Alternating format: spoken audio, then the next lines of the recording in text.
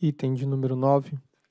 Trata do processo 48.500.003024.2016.81, que versa sobre recurso administrativo interposto pela Eletroeletricidade Serviço S.A.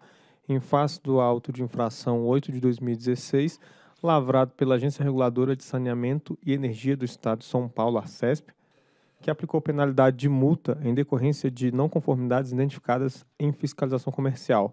Relator é o diretor André Peptoni da Nóbrega. Informo que para o item há um pedido de sustentação oral. Mediante o auto de infração número 8 de 2016, que foi lavrado em 9 de março, a nossa conveniada no Estado de São Paulo, a CESP, aplicou a Electro advertência e multa no valor de 2.255.000 mil reais aproximadamente. As penalidades foram aplicadas pela constatação das seguintes infrações relacionadas à qualidade comercial do fornecimento de energia elétrica. Então, a N3 descumprimento aos prazos para vistoriar unidades consumidoras que requereram ressarcimento de danos.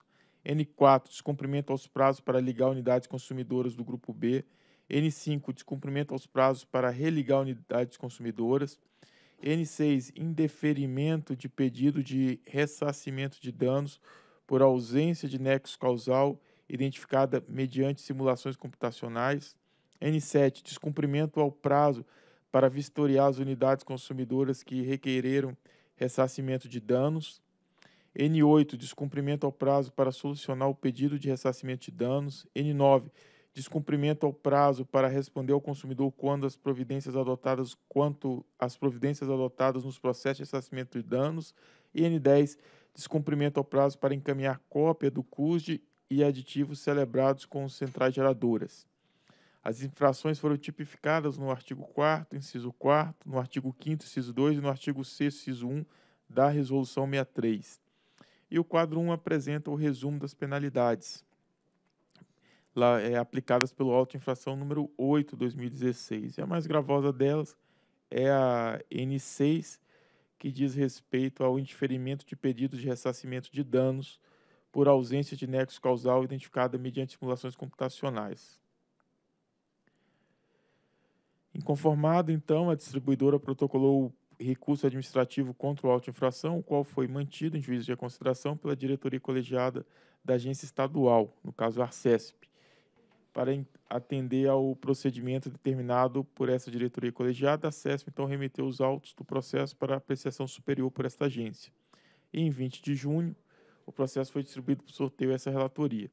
A fiscalização mediante a nota técnica 193, de 28 de novembro de 2016, analisou o procedimento de atuação e a Procuradoria da ANEL, por meio do parecer 132, analisou juridicamente os autos. É o relatório. A sustentação oral será feita pelo senhor Ricardo Gazola, representando a Eletroeletricidade Serviço S.A.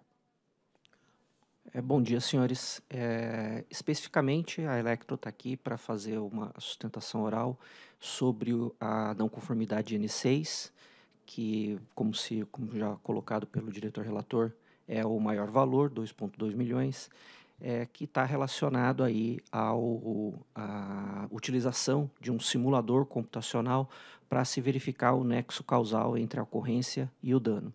Aqui um breve histórico do que aconteceu.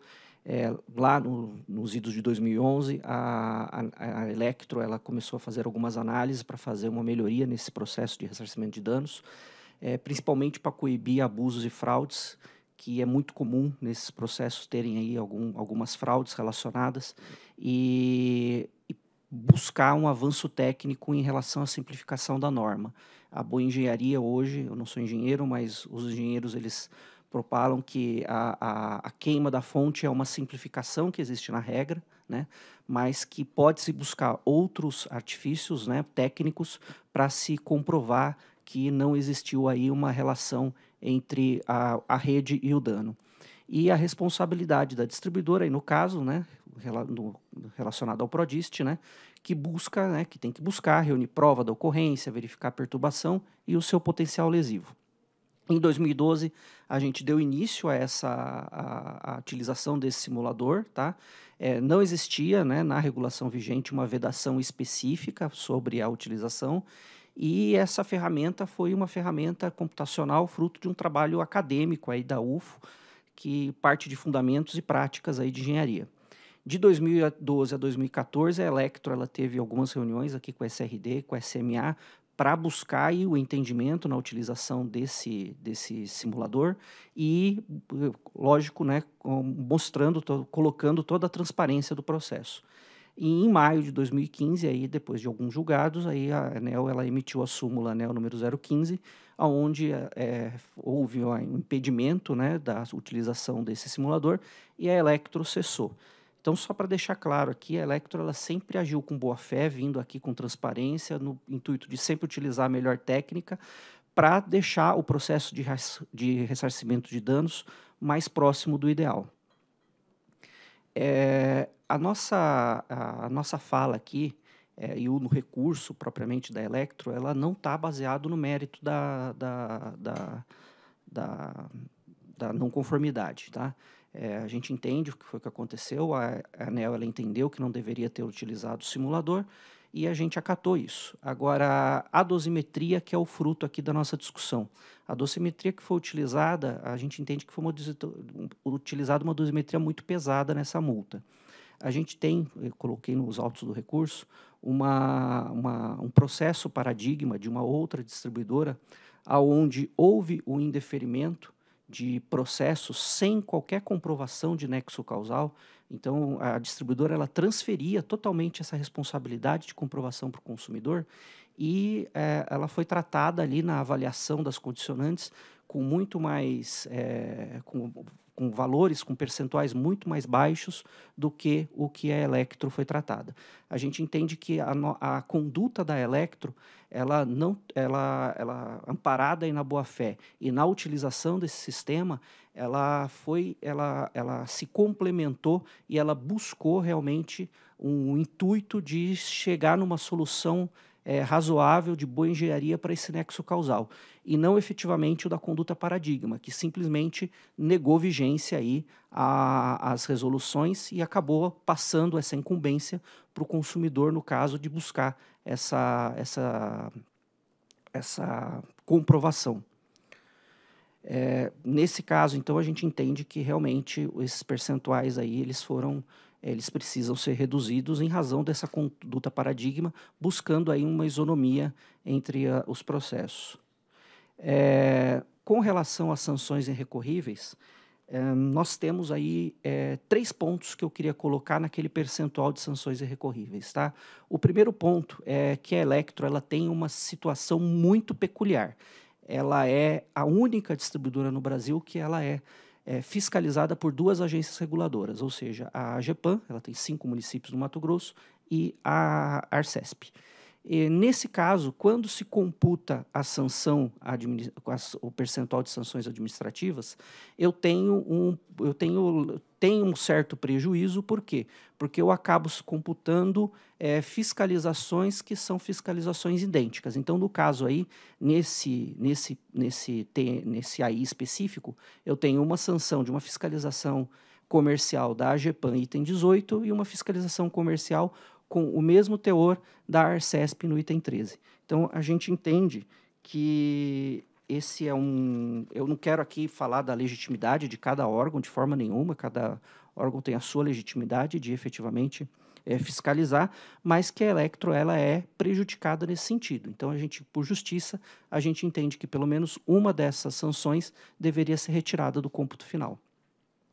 O outro ponto que eu queria colocar é que existe uma sanção que está sub judice, que é uma, um processo, é, um auto de infração que está em trâmite no Poder Judiciário. Existe uma liminar proferida nos autos é, pedindo aí que é, uma, uma, liminar proferida nos autos que tornou a multa inexigível e por, e por esse prisma também a Electro entende que essa sanção ela deveria ser retirada desse cômputo também pelo fato de estar em discussão judicial e ter uma liminar que deferiu, que entendeu aí que ela é inexigível nesse momento. E, por fim, eu tenho aí duas, é, eu tenho um erro de fato, que na realidade aconteceu, a Arcesp ela considerou duas vezes o auto de infração 1009 2013. Então, vocês podem ver que no cômputo da dosimetria Está lá, os itens 8 e os itens 13 são exatamente iguais, tá? Então, isso é, teria que retirar essa, essa, pelo menos um deles, para poder fazer aí, tratar com justiça. É, esses dois últimos pontos, só para esclarecer, eles não foram objeto de apreciação pelo, pelo parecer da Procuradoria. Então, com a exclusão dessas três sanções, a Electro ela cairia do teor de, da, cairia de 80% para 60% no percentual de sanções irrecorríveis, e com isso aí a gente conseguiria chegar a um valor é, que seja aí justo para, no final das contas, em razão dessa conduta dela com relação à utilização do simulador. É, no mais, eu agradeço e peço que o processo seja revisto com relação à dosimetria para que se possa chegar aí a uma multa que realmente tenha um grau de efetividade relacionado à conduta da Electro em razão de todo quanto foi exposto aqui. Muito obrigado. Obrigado. Procuradoria. Então, trata-se de recurso contra auto de infração lavrado por agência estadual conveniada em decorrência de não conformidades identificadas em fiscalização comercial. Então, preliminarmente, a Procuradoria verificou que o auto de infração decorreu de processo corretamente instruído, tendo sido observados os princípios do contraditório, ampla defesa e motivação.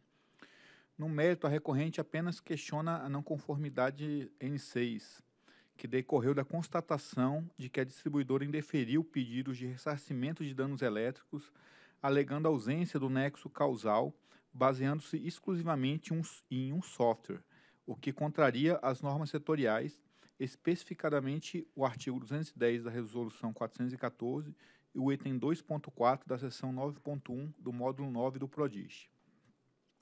E a constatação também conflita com a reiterada jurisprudência administrativa da ANEL traduzida na súmula 15 de 2015. E aqui, vou deixar claro que não foi a súmula que proibiu o indeferimento de simulações computacionais no, na análise dos pedidos de ressarcimento.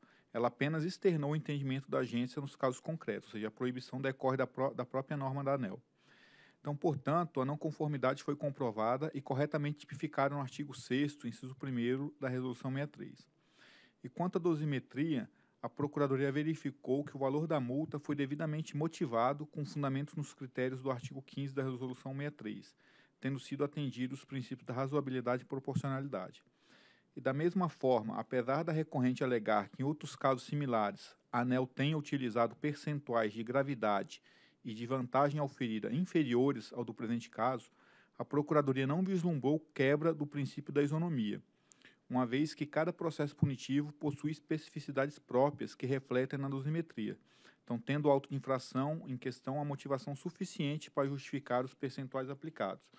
A Procuradoria também não entende que há qualquer vício na utilização de autos de infração lavrado por duas agências estaduais conveniadas, porque aqui não se trata de bis Então, a resolução 63, ela exige que os processos administrativos tenham transitado em julgado pouco importando também se um processo está tá, a multa está suspensa por decisão judicial, ainda mais uma decisão liminar, como foi relatado pelo representante.